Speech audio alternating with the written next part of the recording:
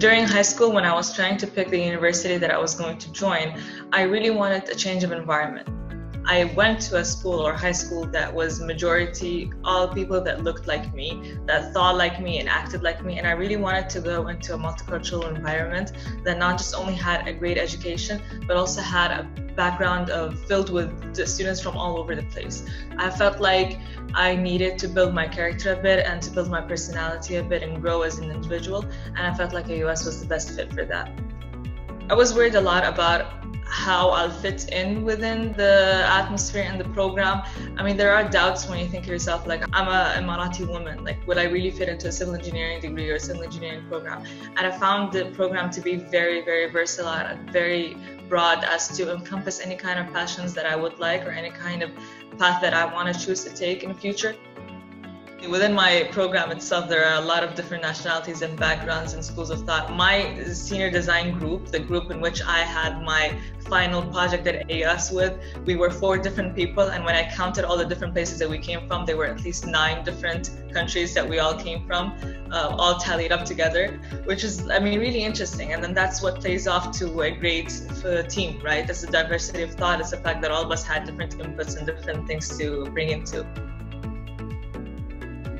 Within AUS, there are student clubs that you can join. There are actually 74 student clubs. Some are based on uh, interest and some are based on academia. I was a part and a board member of two of these clubs, planning the events, and I was running the club alongside with my colleagues as well.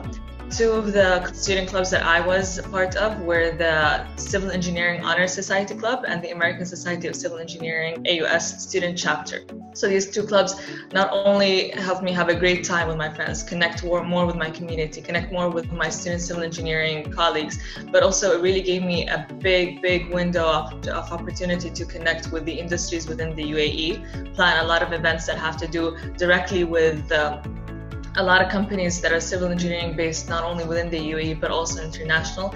We uh, networked with a lot of different universities by throwing uh, school university wide uh, competitions. Um, and also, I had an opportunity to travel to the US and attend a conference on behalf of uh, my club representing ASCE student chapter. We have a lot of students partnering up with different companies that help them within their senior design project, that help them lend them the space, the materials, the tools, the testing that they need. I myself worked with uh, Arabtec in my senior design project, so they lent us all the uh, all the things that we needed, like the concrete materials and supplies, as well as they helped us with the testing. And by that, I got to know a lot of people in the uh, company, and I, I had to, I built a lot of strong connections and I built a lot of strong ties my university experience and my academia helped me a lot during my internships, not only in terms of like technicalities, but also soft skills.